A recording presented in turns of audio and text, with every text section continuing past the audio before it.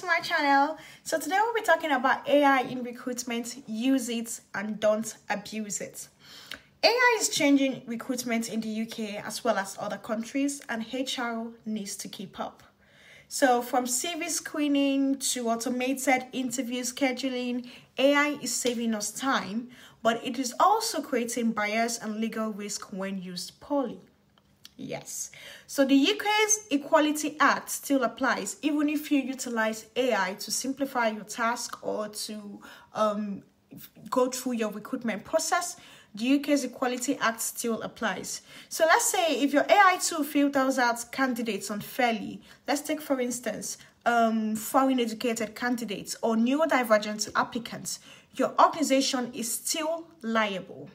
So here's what every HR professional needs to remember. Okay, AI is a tool and it is not in any way a decision maker. AI is a tool that assists in your day to day task in simplifying things for your work.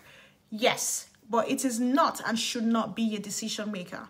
You also need human oversight as a HR professional. You need clear criteria and you need an unbiased check at every stage of the hiring funnel okay? And also make sure that when can make sure your candidates know when ai is being used. When you you utilize ai in your recruitment process transparency matters and it is important that you notify your candidates that ai was being used or will be used during the recruitment process.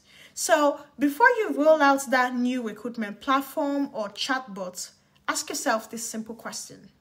Is it inclusive? Is it ethical and are we using it to enhance and not replace human judgment?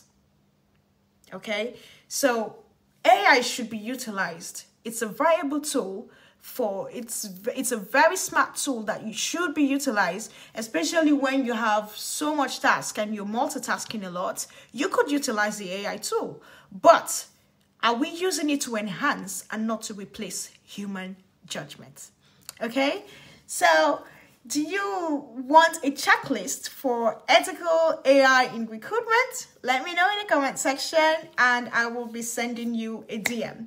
And you can also visit the link on my bio to visit our website, which is www.sophyletcollection.com, where you could get free editable Word documents to suit your own needs. Even as a small business owner trying to understand the um, HR space for organization, you could use those documents. You could also send me a DM requesting whatever document you